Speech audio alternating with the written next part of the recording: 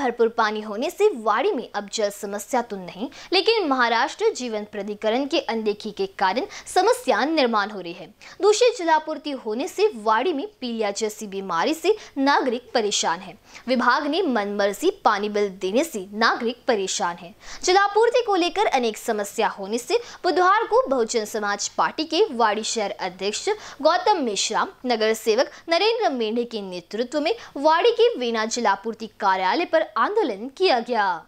जलापूर्ति विभाग के खिलाफ जमकर नारेबाजी की। अभियंता का घेराव कर अनेक समस्या अवगत कराई। महिलाओं ने भी अपनी समस्या रखी। एग्जीक्यूटिव अभियंता प्रशांत बोराडे ने आंदोलनकारियों को समस्या हल करने का आश्वासन दिया।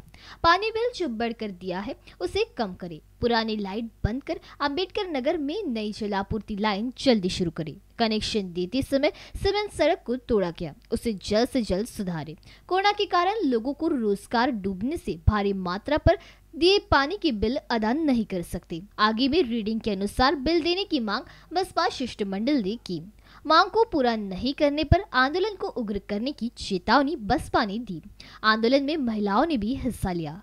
आंदोलन के दौरान वाड़ी पुलिस स्टेशन के एपीआई ज्ञानेश्वर ढवली, खुपिया के विजय कलस्कर के साथ पुलिस बंदोबस्त तगड़ा था।